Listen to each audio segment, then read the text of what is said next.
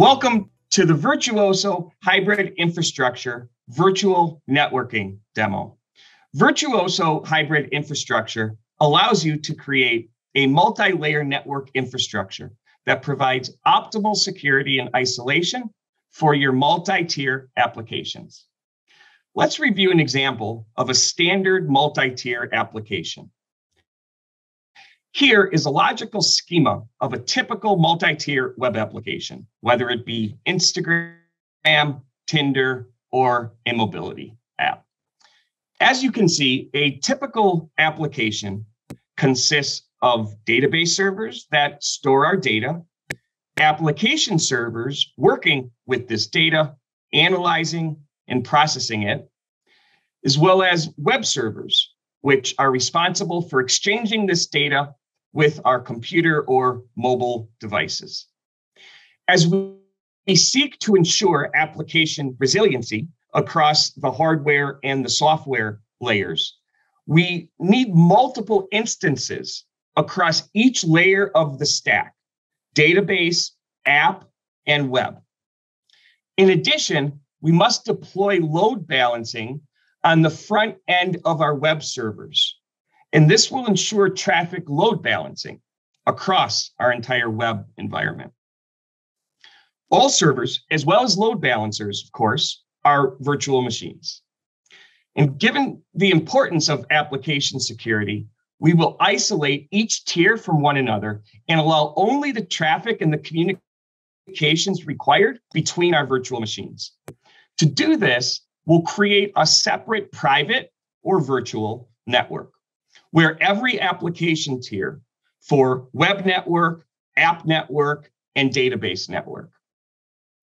Next, we will connect these private networks with our public network using a virtual router. Only the load balancer will be connected to the public network, and we will use a floating IP from the public network assigned to the private IP of our load balancer. As Virtuozzo hybrid infrastructure is, of course, based on OpenStack, we use VXLAN technology to provide private or virtual networks. Next, let's actually take a look to see how to create a virtual network in our self-service panel. Creating virtual networks. As you can see, we've switched to our compute schema in the self-service panel. We've already created several virtual machines, and a few private networks to help speed up the process. We want our network to automatically assign IP addresses to virtual machines. So we must keep the IP address management enabled, as you can see here. Next, we've got to pick a name for our network. Let's use web-network. And we'll click next. And since this is a private network, we can really use any network settings that we'd like. We're going to input them here. And note as we're entering that, that the allocation pool allows us to define the scope of IP addresses for our virtual machines. And we'll click next. Here we can review the network settings and click create a virtual network. Next, we will create two new virtual machines as our web servers. We're going to name them Web 1 and Web 2. For a detailed explanation, see the video on how to create new virtual machines. And the only other thing that is important to note is we will add all of these virtual machines to a web network that we've just created.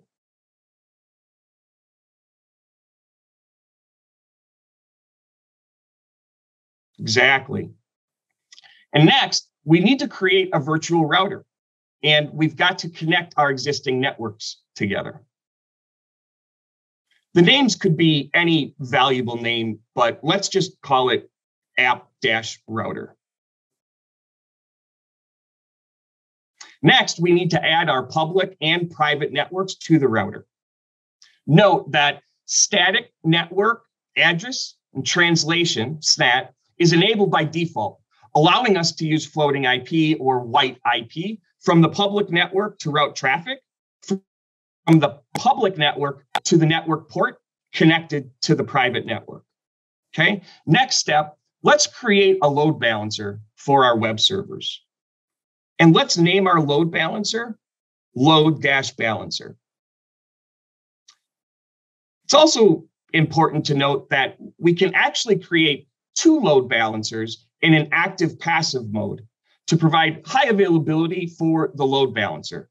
So here we will enable high availability. Next, we want to connect our load balancer to the web server's private network. Since the load balancer will be directly connected to only the private network, we must enable floating IP to automatically assign public IP to the private IP of the load balancer. Then we'll select create new for the floating IP to be automatically created. As the next step, we need to create a new balancing pool. And balancing pools have many parameters. Forwarding rule, let's assume, for example, our applications use HTTPS traffic. So we'll select HTTPS traffic here and use 443 port for our load balancer. As for the backend port, the port on the virtual machine side, that is, we will also use 443 port for better security. We'll also support overall the following rules HTTP, TCP, UDP. As for the balancing algorithm we support, least connection, round robin, and source IP. Here, for this application, let's use round robin. Finally, we will add virtual machines to the balancing pool and the web servers, Web 1 and Web 2. And just a note, more detail can be provided regarding our ability to support various options for the health and the monitoring. For example, how the load balancer can check the availability of virtual machines in a balancing pool if you're interested. Now, it will take some time uh, to create the load balancer, but while it's creating, let's review the final schema again. In summary, we now have seen everything that's needed to create a multi-layer network infrastructure with optimal security and isolation for your multi-tier applications. All private networks are connected to the public network using virtual routers and load balancers with floating IP connected to the internet. Now, users can access the floating IP from the internet, and the load balancer will route their traffic accordingly to one of our web servers. The web server, of course, will successfully request data from the application server and the application server will successfully request data from the database. Our application works.